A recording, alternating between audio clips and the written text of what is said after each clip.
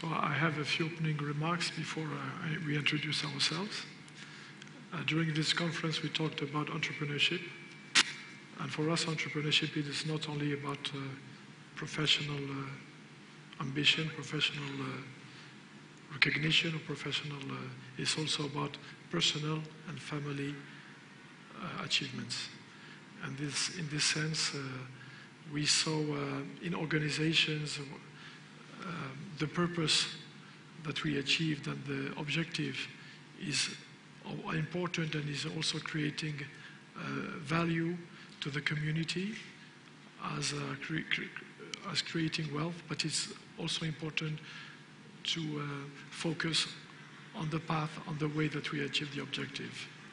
And we feel that we are actors of change, and change doesn't comes when uh, we see uh, our perception of the, of the environment changes, and this is the only way to see a, change in the environment is to change ourselves. Um, I would like to introduce uh, myself. My name is Ibrahim Slaoui. I'm 52 years old. I manage a foundry in Morocco, a castings business in steel and iron. Uh, I am uh, founder of the YPO chapter in Morocco. I also am uh, um, president of a local organization that deals with uh, entrepreneurship uh, for youth, uh, helping youth be trained to get jobs, and also part of the board of INJAZ, and also part president of a local organization that deals with human values within society. I would say that I had a chance to be president or to work in this company, Mafoder, for 25 years. And uh, today it's a leading company in the Arab world in terms of uh, in the industry of castings. And I would say that our main uh, um, um, the way that we managed to achieve our, our uh, success was through focusing on the uh, three uh, elements in our business which is uh, delivery time, quality, and price. And today we are able to sell on, uh, on premiums of 25% over competition because we're able to deliver quality and price. Um, and I would say also that uh, we, uh, working in this company for 25 years has taught me patience and also uh, um, the drive to uh, go through difficult times and overcoming hurdles, barriers. And we can say that we, I, I had to go through um, crossing deserts for some times, and now we, we arrived to uh, recognition because we export to more than 15 countries in Europe, Africa, and the Middle East. And this, this is quite unique because we don't have a tradition of uh, this type of industry in Morocco. So I would take the opportunity to introduce Amina and uh, my wife, and she, will, she can uh, introduce herself. Okay, my name is Amina, and uh, I began my career in a, in a bank, and then I, I had my uh, own enterprise in uh, communication, and uh, I met Brahim 25 years ago, and I married him, I actually asked him to marry me. That was a quality of entrepreneurship. I took some risks, but it worked. So uh, I was very happy. And uh, we began to travel a lot because we, we love traveling. And we went all over the world in very remote areas. And in 92, uh, we went to Costa Rica. And one day we went to the beach. We rented the bicycles.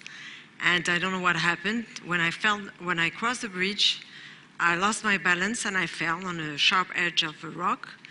And I felt instantly the life going on, going, going off. It was really something very weird because I knew it was terrible. I, I knew it was very, uh, uh, that, it was going to change not only my life, but the, the life of all my family and my friends. And uh, then I, I went um, in rehab in, in the United States. I was very lucky to go there. I stayed for two or three months. Then I went to France. And I, when, when I get back in Morocco, I realized that there was nothing done for disabled people in Morocco. It was like a desert. We even uh, see people in wheelchairs in the streets because uh, they couldn't afford to buy a wheelchair. And uh, I decided to join the, an association. And uh, maybe we can show you a movie, a little movie of two minutes of what we've done in uh, our association.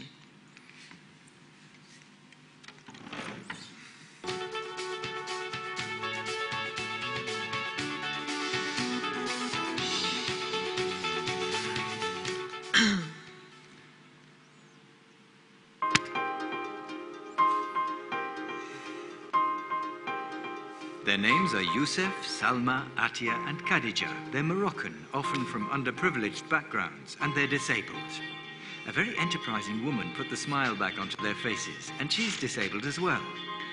It all began in 1992 when Amina El Slaoui lost the use of her legs, but instead of giving up, she turned her disability into a positive force and joined the Moroccan Association for the Disabled. Quand je me suis engagée, je me suis et âme. J'ai même pas réfléchi. Parce que c'était un besoin. C'était, vital pour moi. Je voulais pas rester enfermée dans mon handicap. Je voulais pas être un poids pour mon mari, mes enfants, ma famille, pour la société. C'est quelque chose que je n'ai même pas réfléchi. On s'est retrouvés, on a fait clan pour faire évoluer les choses. Et pour montrer qu'une personne handicapée, bah, c'est une personne comme une autre, qui vit avec ses problèmes, ses soucis, ses joies, ses bonheurs, et qui ne demande qu'une chose, c'est d'être intégrée. To give the disabled a chance to live a normal life, that's the aim of the association's rehabilitation centre here in Casablanca. C'est un hôpital. Donc vient au centre toute personne qui est handicapée, que ce soit de manière temporaire ou permanente. Ça peut être tout type de handicap, mais c'est des handicaps physiques. La personne arrive ici avec un projet de vie. Il faut- Il faut qu'elle reconstruise sa vie. Nous, on l'accompagne jusqu'au bout, jusqu'à la réintégration au domicile. Et si possible, après, à travers l'AMH, pour euh, trouver un travail. A friendly, modern, comfortable centre, often in striking contrast with the patient's everyday life. Amina was raised in a privileged environment, yet she's fully aware that, especially in Morocco, a disability can mean hardship for the entire family. On a besoin de beaucoup de choses quand on est handicapé. On a besoin de fauteuils, on a besoin de cannes, on a besoin de rééducation, on a besoin d'aide technique, genre des orthèses ou des prothèses. Et c'est un matériel malheureusement qui coûte très très cher. Amina and the Moroccan Association for the Disabled still have many hurdles to get over accessibility to public places, integration in schools, and the workplace. There's a lot to be done, but there's no shortage of enthusiasm in the association to get them done. Crois que notre force à nous justement, c'est de vivre le moment présent. Parce que quand il vous arrive une claque comme ça, je vous assure que c'est- tout tout change. Cet accident et tout ce que ça m'a apporté par la suite, ça ça m'a tellement développé euh, intérieurement et ça a tellement changé aussi mon entourage, euh, je trouve, dans, dans le bon sens, que je n'ai aucun regret.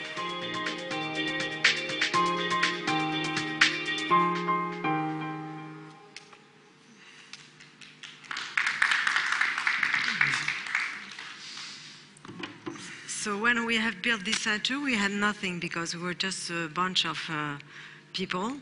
And uh, maybe we can show the, the, the slides.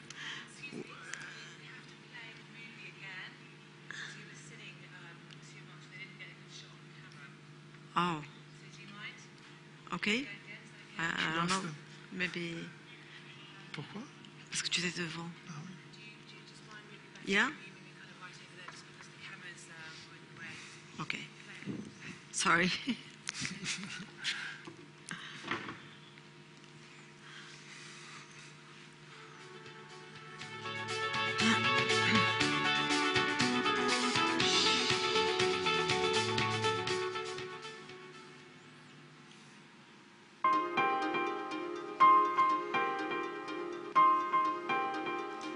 Names are Youssef, Salma, Atia, and Khadija. They're Moroccan, often from underprivileged backgrounds, and they're disabled. A very enterprising woman put the smile back onto their faces, and she's disabled as well. It all began in 1992 when Amina El Araki Slaoui lost the use of her legs, but instead of giving up, she turned her disability into a positive force and joined the Moroccan Association for the Disabled. Quand je me suis engagée, je me et âme. J'ai même pas réfléchi. Parce que c'était un besoin. C'était, vital pour moi. Je voulais pas rester enfermée dans mon handicap. Je voulais pas être un poids pour mon mari, mes enfants, ma famille, pour la société.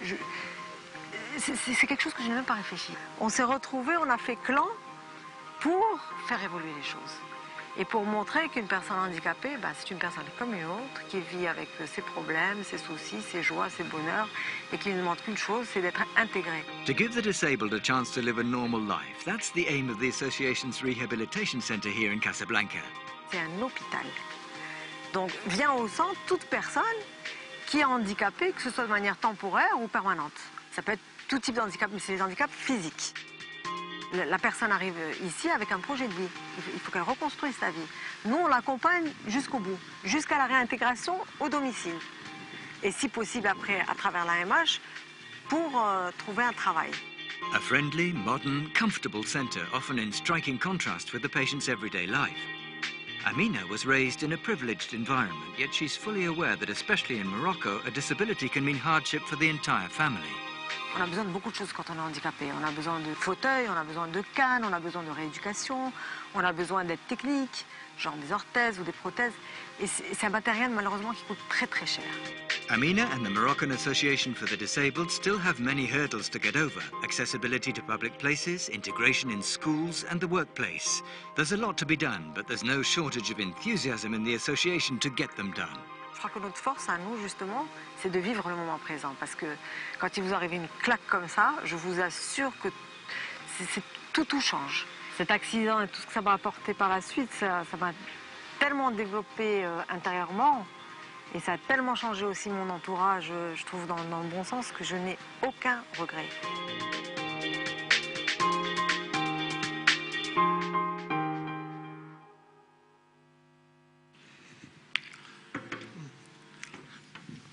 So I would like just to give a feedback about the circumstances of the accident. And uh, it happened uh, in Costa Rica in about uh, eight-hour drive in the, in the jungle. And when she fell, I really thought that it was not something, uh, I mean, uh, dangerous. And uh, finally, uh, I uh, carried her on the bank of the river and I took her in a, in a car to the closest hospital. And uh, I had to wait for about five hours because I called a friend who was in San Jose, in the capital. He rescued us by, by, with a small airplane. And at that time, there was a, a airfield that was under construction. And there was no way that the, the, uh, the plane could land, so they had to land on a banana field.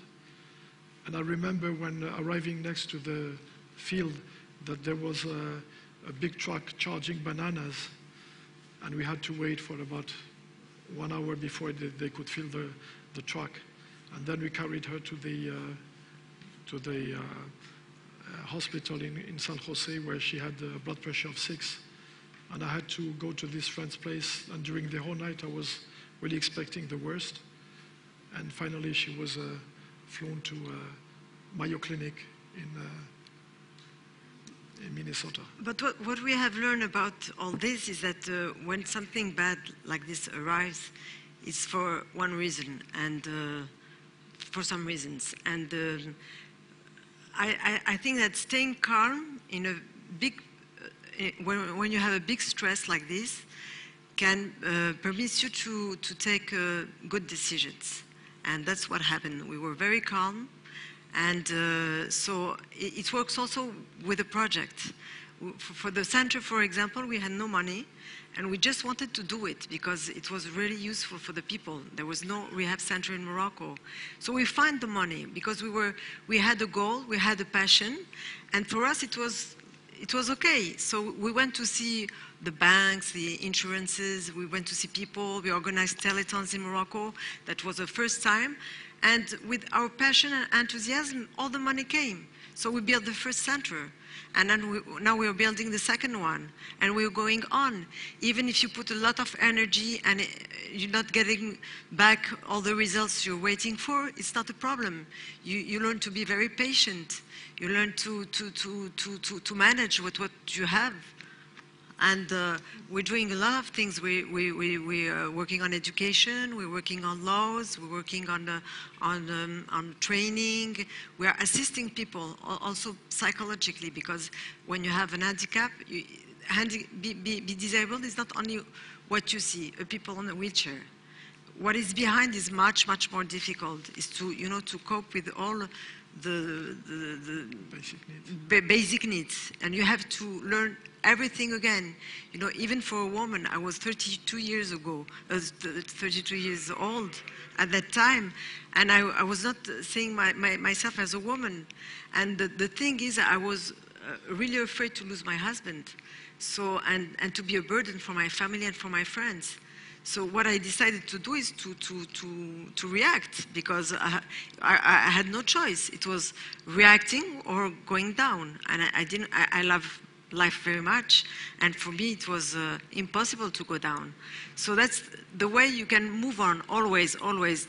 Life is a lot of challenge. You have a lot of challenge. Life is not always easy. Uh, but, but you can do it. We can do it. It's not, it's not important what you're living. If if you, if you live the moment, pre- the present moment, and you accept what, what happens, it's much, much more easier. And I accepted it. And I decided to do, um, um, to be very strong so, so I can be an example for all the people you can see behind me. And you can see there is a lot of, it's not always easy because there is a lot of suffering. But uh, personally, I think that if, if, if um, la douleur, pain, pain is, is ine- inevitable, suffering is uh, facultative. And it's, it's an option, and that's wh- what you decide. I- I think also the, what made the- this project a success is it was empowered or initiated by five handicapped people. This is what the birth of the, uh, the small group that initiated this project. And they really had a lot of hurdles to overcome, but they managed to, to, to uh, cr- create this uh, fabulous project. So, so what we really want to, to say is that uh, when you have passion and when you uh, have confidence of you, when you're connected to yourselves, it's much more easy to connect to the others. If you're not connected, it's much uh, more difficult. And what was really paradoxal in my case is that I don't feel two thirds of my body. And uh, when it happened, I, I said, okay, what, what is this body? I cannot recognize it. It was really weird. But in one way, it allowed me to reconnect with myself. Because at that time, we, you know, it was like a, such a shock that um, um, euh, comment est-ce- on on entamait un développement personnel. We go through the, the development path. I mean, and and, and we it was a big big challenge and we did it so uh, I don't know, it's, it's, we can do a parallel with the enterprises I think no, no, nothing happens by chance. When, when something happens to you, you have to learn the lesson and move forward. And I guess this was the opportunity for both of us to think about what happened to us and how we could best leverage on it. And this is uh, a time where you have to question yourself and to see uh, how can you best take advantage of the situation. And uh, I remember just uh, after just the, the, following day after the accident, Amina's father said, "What are you going to do with your life now?" She said, "Well, I would like to have a, a child." And he thought I was crazy. He said, "Well, my, my daughter is in very bad shape, and she's uh, speaking about uh, having another child. And uh, in fact, we had two, two, two other kids after the, the accident. So uh, that was also, also part of our program, and we did it. And uh, we are not also only involved in handicap because uh, um, we are doing a lot of things in Morocco, especially with uh, young people. And uh, we had a program, maybe Brian can. Well, we introduce prog- stress management programs in uh, all, la- all layers of society. And actually, when we, we talk about stress, is really thinking when you're not present, not in the present moment, you're thinking about the past, you have regrets about the past, or you have anxiety about the future. And a lot of the source of violence in society is because people cannot get away with the past. So we help people free, free themselves from the past and, and envision uh, the future in a, in a bright way. And we worked in, uh, in orphanages, in prisons.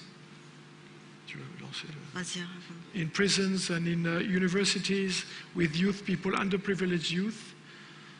And the, the purpose was really to allow people to get connected and to see that they can make, they can make a difference in their lives as long as they, they understand they can be empowered, empowered to make a change. And the only way to, to make a change is to change yourself. So we help the youth to, we give them tools so they can uh, reconnect to the human values such as enthusiasm, optimism, commitment, uh, responsibility, and to understand what generates violence. It's the uh, attitude that, that you use, your attitude that generates violence. And if you can be connected to your mind to see how your thought can generate acts of violence, then you're much more vigilant to prevent uh, violent uh, attitudes. And these techniques are based on yoga. So you have meditation, we have breathing techniques, and we, we, we did it in prison in Morocco. Can you imagine? It was crazy because it was, they're all Muslims, we're all Muslim. And uh, bringing yoga and meditation in prison, that was really a strong experience. I think I, I will never forget it because it was so powerful, you cannot imagine. It was incredible. And we also uh, gathered about 45, we did some uh, what we call YLTP, Young Leadership Training Program for Youth. We had two groups of 200 for uh, in a 10-day residential program. And then we, we took 45 young Moroccans with, that we sent in an ashram in India. And, uh, you know, they, they, they thought that they were trying to, to send them for, uh, to, to, to become Hindus.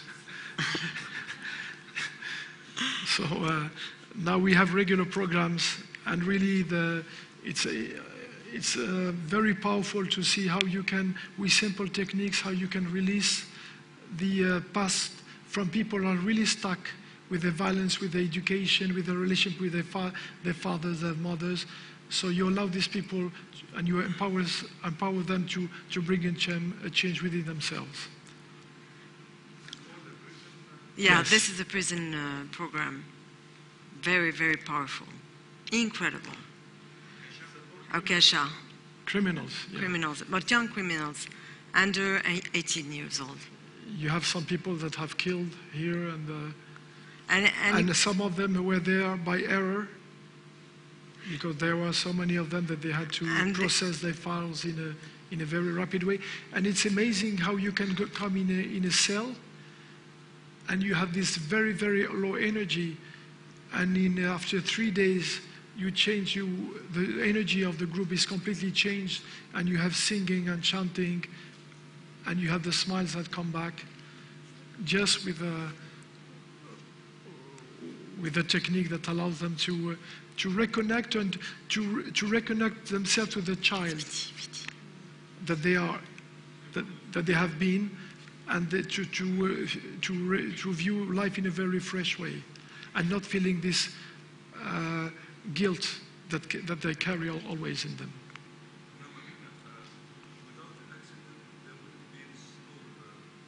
I, I'm, s- I'm sorry, I, I cannot hear. No, I don't think so. Really, I, I, I, I'm honest. I don't know if, if, if, if I didn't have this accident, I don't know if I would have done all this. Yeah, exactly. So I, I think that the key is accept what happens, even if it's difficult sometimes, because it's not always easy, and then believe in what you do. And when you have these two things, you can go everywhere and you can, and money comes. Money is not the problem. The thing is you, you have to, to, to have the energy. And when you have the energy, you can, people follow you. I think so. I, I have maybe I would like to share a comment because we talk about inspiring. This is the theme of the conference. The first, the first thing we do in life is inspire. The, before we cry, we inspire. The last thing we do in life is expire. And all the life is, is on the rhythm of breath, inspire, expire. And if we are connected to our breath, then we are connected to the present moment and we are much more aware of what's happening inside of us. So just by bringing this awareness, we can change our perception of the world and we can change the way we act.